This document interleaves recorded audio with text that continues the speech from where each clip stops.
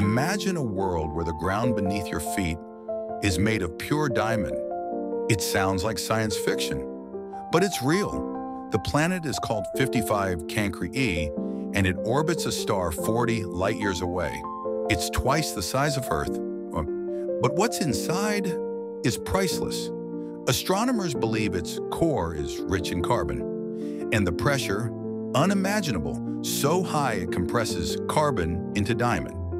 Not just veins, but entire mountains, valleys, maybe continents of shimmering crystal. Temperatures reach over 4,000 Anodinovs.